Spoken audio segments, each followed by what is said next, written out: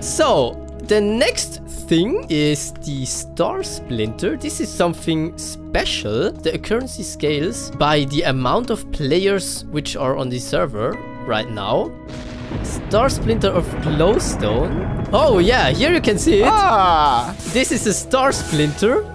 As you can see, with some uh, fireworks that you can find it. And uh, yeah, it just makes like a big, big hole, which can destroy like everything of your buildings, which is not really funny. And uh, yeah, it just uh, throws some glowstone to the world. Maybe I can I can show you if you destroy this.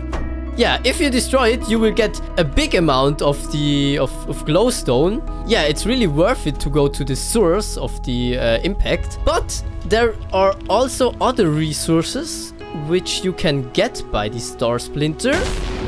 For example, redstone. Wow, perfectly in my view. it's on the same island. Yeah, this is the one for redstone.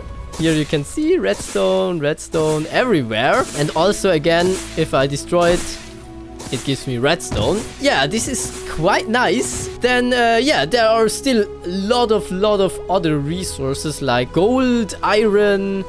Uh, oh, place! perfect.